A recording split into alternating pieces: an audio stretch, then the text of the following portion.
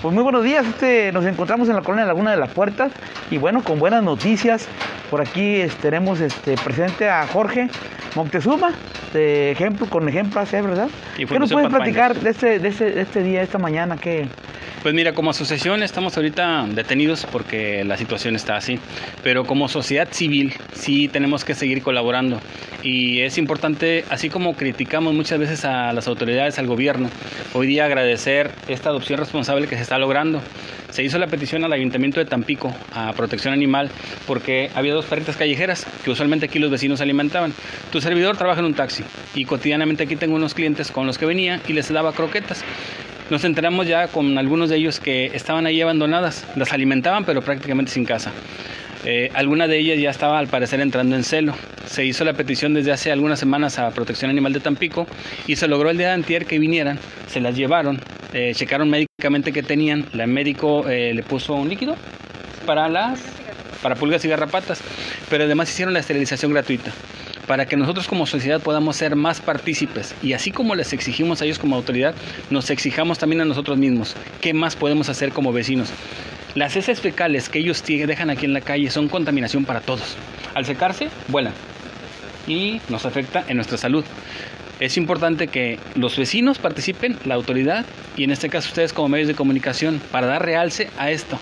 Y si alguien tiene la oportunidad de querer ayudar, que se pueda acercar. Aquí la médico podrá explicarte más a detalle qué es lo que se les puede se hacer. a trata de una adopción. Sí, ya hay dos hogares que le van a brindar un techo de manera provisional, esperando que se adapten, ya que de no adaptarse, creo que es lo correcto, tienen que buscar un lugar, porque no es nada más de que a la persona que a mí me gusta llevármelo. Si yo me lo llevo, pero el animal no me quiere adoptar a mí, pues tengo que buscar un hogar responsable. Y esto es lo que está ocurriendo el día de hoy. Dos perritas que ya están esterilizadas y que van a un hogar responsable. Ok, muy Y bien. que Entonces, médicamente, ¿cómo se encuentran? A ver, Se encuentra bien. ¿cuál es su nombre, doctora? Hola, buenos días. Mi nombre es Stephanie. La médico Stephanie eh, Baez Ataray. Y ahorita pues estamos aquí con el ciudadano que gracias a él este, es uno de los voluntarios de Hogar Temporal. Y, este, y como lo comenta él, eh, la idea es tener un trabajo en conjunto, ciudadanos con gobierno, para pues poder darle una mejor vida a todos los perritos de la calle, ¿verdad? Que son por los cuales nadie ve. Entonces nosotros tenemos una campaña de esterilización gratuita de perros y gatos. Eh, y ahorita bueno, se está haciendo un trabajo en conjunto, como lo comenta el ciudadano. Ahorita las perritas ya fueron esterilizadas. Este, lo que dice que pues ya no van a entrar en celo, ya no van a tener más crías, que es lo que se busca, ¿verdad? Este, bajar lo que es la sobrepoblación de los perritos. Ahora sí que también, también buscarles adoptante para que pues no vuelvan a la calle, ¿verdad? Sí.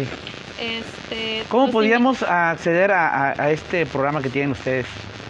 de Em, Esterilización y eso. En sí, eh, hacerle reporte. En sí, hacer el reporte, que sean perritos, ya sea hembra o macho, eh, gatos, hembras y machos también, en situación de calle.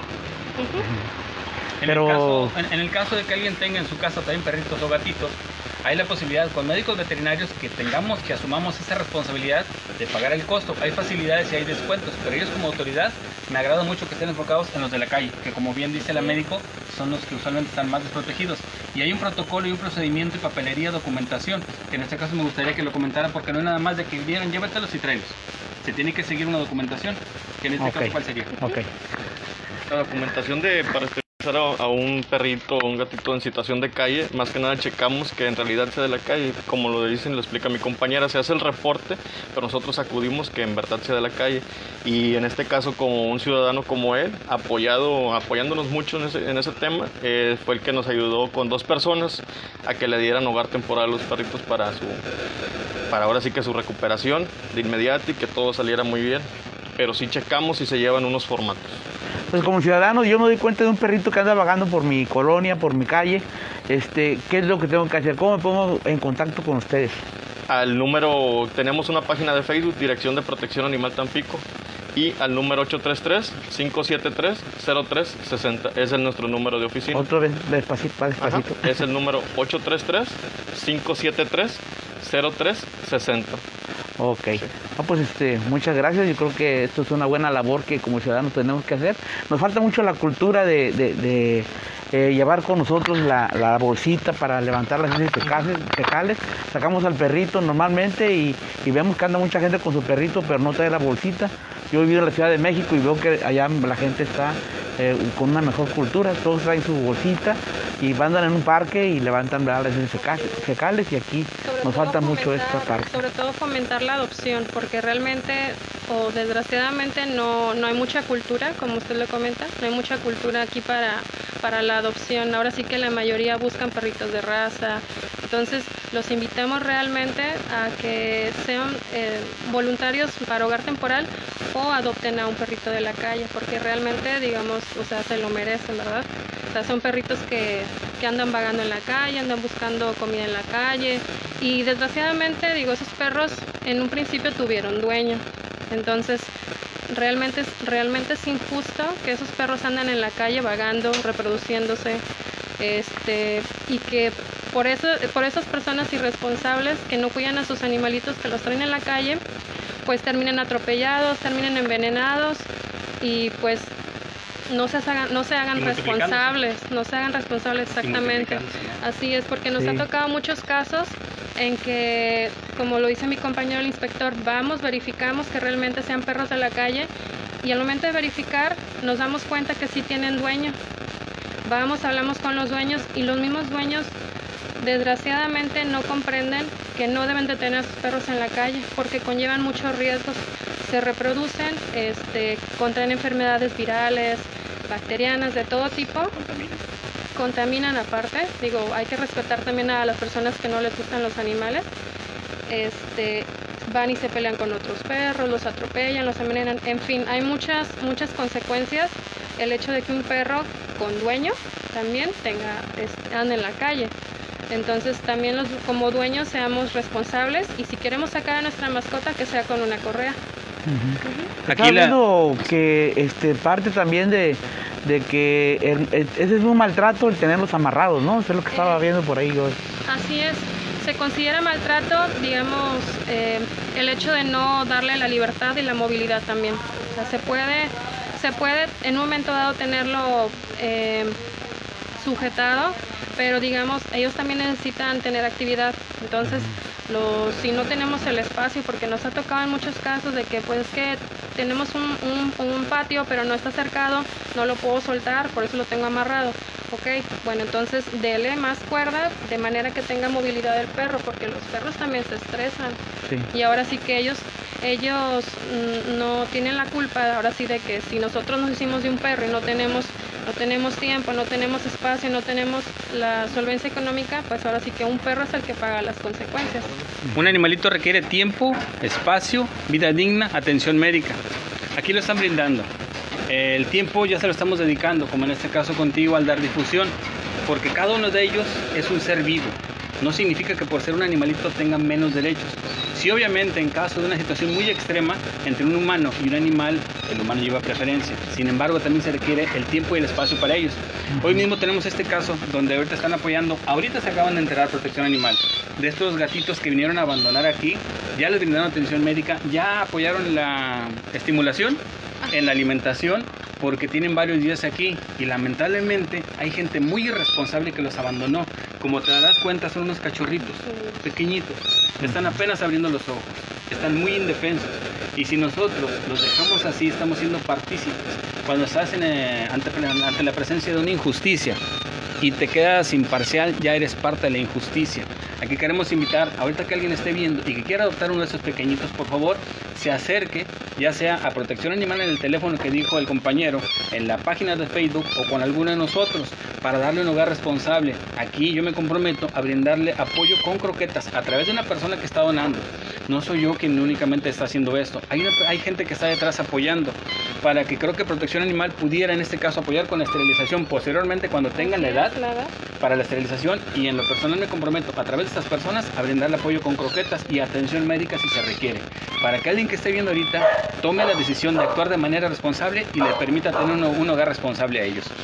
Sí, también hay, eh, he estado escuchando últimamente, hay, hay más información, ¿verdad? Para pues, hacer cultura entre la población y también se dice que para los niños no es, no se le debe de regalar como una mascota Así a es, tan bueno, temprana edad. ahí, ahí, igual es un tema de controversia, creo yo. Digo, yo tengo un niño de 5 años, el cual creció con los animales, porque pues bueno, ahora sí que su mamá es veterinaria.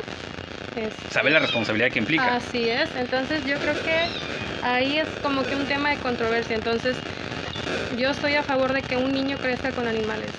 Yo Ajá. también, pero si tienes un adulto responsable, Así es, siempre bajo tener. supervisión, obviamente digo.